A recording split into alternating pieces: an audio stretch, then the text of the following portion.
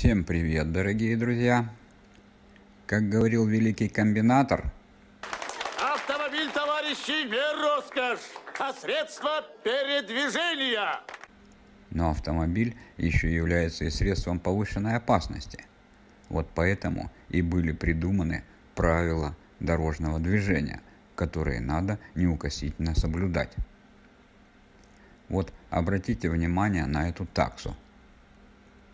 Убедившись в безопасности, собака перешла по пешеходному переходу половину дороги. Остановилась на середине, убедилась в полной остановке автомобилей и спокойно пошла дальше по своим делам. Всем, друзья, всего хорошего. Соблюдайте правила дорожного движения.